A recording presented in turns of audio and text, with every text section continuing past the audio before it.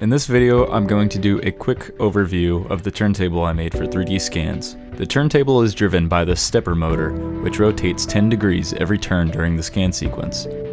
The platform is mounted onto the motor shaft with a clamp and a couple of screws. Pretty much all of the non-electric parts were 3D printed. I put some rubber feet on the bottom.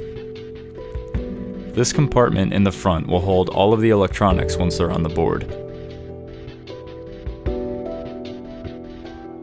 I designed the parts around the motor in Blender and sent them off to my friend so he could print them for me. However, I did need to split the base model into multiple parts to avoid manufacturing defects. Because of the amount of time this took to print, it began to lift off of the print bed because of cooling issues. Once we reduced the size of the models, we seemed to be in good shape.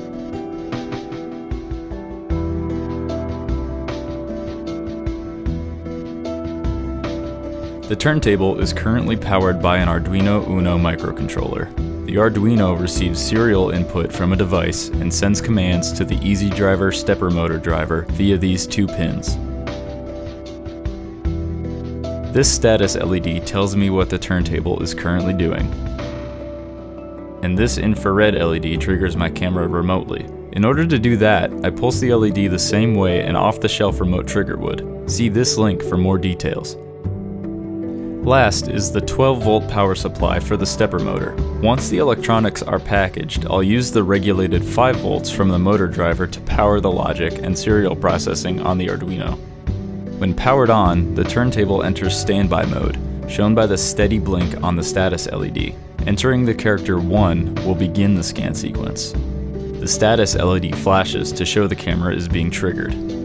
There are currently hard-coded wait times for the camera shutter and for the subject to settle if needed.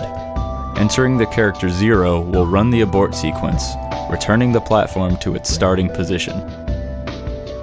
There are also debugging options to rotate the platform 10 degrees counterclockwise, 10 degrees clockwise, and to just trigger the camera. The automated turntable helps maintain accuracy and save time during the scanning process, leading to a much faster turnaround time on finished models.